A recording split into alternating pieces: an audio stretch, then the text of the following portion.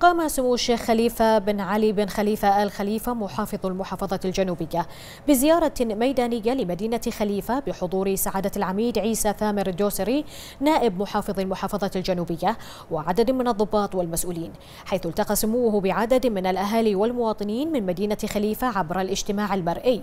واستمع سموه لآرائهم ومقترحاتهم ومتطلباتهم في المجال الأمني والاجتماعي والخدمي وخلال اللقاء تابع سمو محافظ المحافظة الجنوبية آراء ومقترحات الأهالي في الإطار الأمني.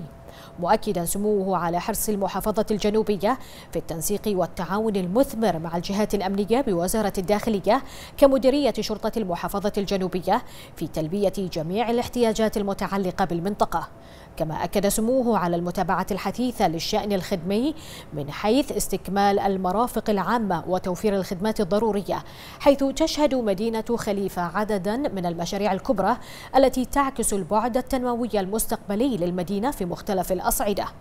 من جانبهم عبر أهالي مدينة خليفة عن شكرهم وتقديرهم لسمو الشيخ خليفة بن علي بن خليفة آل خليفة محافظ المحافظة الجنوبية على حرص واهتمام سموه في تواصل سموه المستمر معهم ومتابعة احتياجاتهم وإيصالها للجهات المختصة مشيدين بما تحظى به مدينة خليفة من مشاريع تنموية رائدة. وفي ختام الزيارة قام سمو محافظ المحافظة الجنوبية بجولة ميدانية في أحياء المدينة حيث اطلع سموه على أعمدة الإنارة التي تم تركيبها مؤخرا وذلك في إطار الجهود المبذولة بالتنسيق والتعاون بين المحافظة الجنوبية ووزارة الأشغال وشؤون البلديات والتخطيط العمراني وهيئة الكهرباء والماء.